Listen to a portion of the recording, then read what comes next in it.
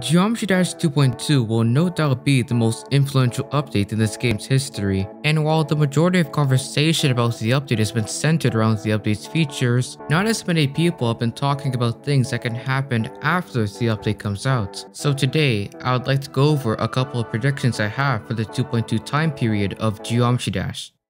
Because of how long 2.2 has taken to come out, expectations for the update have risen dramatically. If RobTop doesn't deliver on the expectations of the community while launching the update with tons of bugs or less expected features, I fear that a lot of people will quit the game out of frustration. But if RobTop does manage to pull through and release an update that the community enjoys, we should expect a large surge of popularity that is common whenever new updates get released. This popularity wave may be larger than normal considering that this update has been hyped up for more than 4 years, half of the game's existence. Luckily, we probably won't ever have to experience an extremely long update wait time ever again. RobTop has said in the past that the 2.3 update will arrive very soon after 2.2, as it is very small and would only focus on bug fixing. He has also stated that he plans on hiring a development team to help him produce updates quicker, so a potential feature packed 2.4 update could come out sooner than normal. But the fact that updates after 2.2 will come out quicker can cause many irregularities.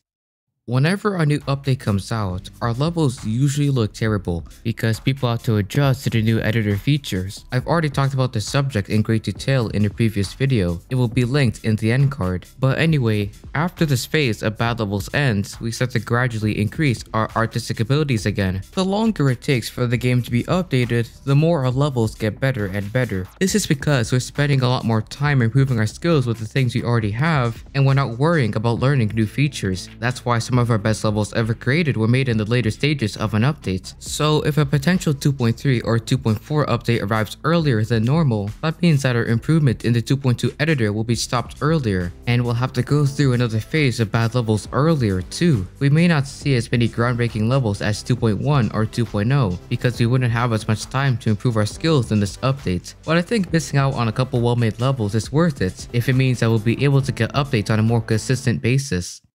The addition of the Versus mode will completely change the social fabric of Geometry Dash. New Versus mode players can compete against each other to become the best, similar to how Star Grinders compete to climb the leaderboards. If new stats were created specifically for the Versus mode, like win-loss ratios, then this competition could happen easier, as there'd be clear stats to try to improve. But if there aren't clear stats to grind for in the Versus mode, then this new form of Geometry Dash competition will not be as prominent as the others. The platformer mode is extremely similar to the versus mode, in the sense that it will bring huge changes to the game and its community. There would be a new branch of the community focused on creating platformer levels and playing through them. This feature will also bring in new players who enjoy traditional platformer games as opposed to the auto-scroller type Geometry Dash is based around. More ambitious builders may build extra large platformer levels, filled with puzzles, challenges, and whatnot. We should see a couple mega builds that will have similar playtimes to indie platformer games. More dedicated platformer level players will take to speedrunning, which will create a completely new way to competitively play Geometry Dash. We should see an organization similar to the Demon List be formed, dedicated to ranking platformer levels based on difficulty and scoring players based on their speedrunning times.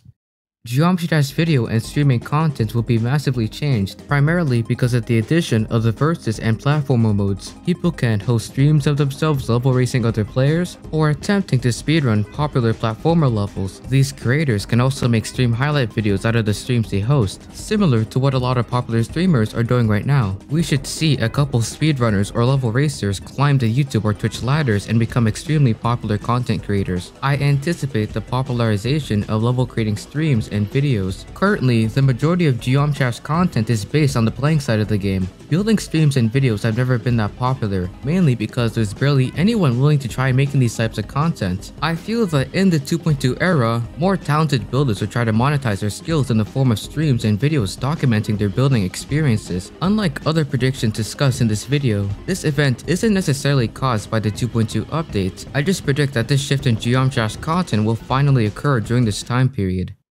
The addition of editor features like reverse orbs and camera controls will certainly allow levels to become much harder. These features mainly change the camera's movement. While this can allow for more aesthetic scenes and fun gameplay in easier levels, in harder demons, this can make gameplay a lot more confusing. This will certainly raise the difficulty ceiling by a ton, and will most likely see a new top 1 demon in the 2.2 era that uses these confusing gameplay mechanics to make a hard level even harder. It's clear that the 2.2 time period will see an immense amount of change. I, myself, am excited to enter this new era for Geometry Dash. If you enjoyed this video, I recommend you subscribe to my channel. It shows your appreciation for my content. But anyway, I thank you for watching and I'll catch you later.